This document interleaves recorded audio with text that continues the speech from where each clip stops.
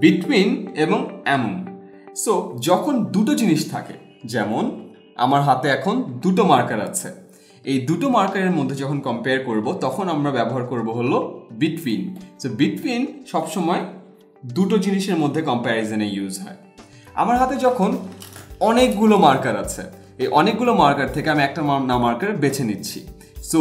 অনেকগুলো জিনিসের মধ্যে যখন আমি কম্পেয়ার করব, তখন আমি ব্যবহার করব হলো অ্যামাউন্ট যেখানে অনেকগুলো জিনিস আছে,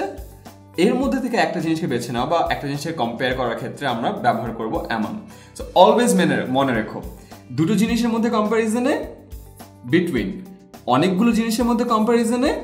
অ্যামাউন্ট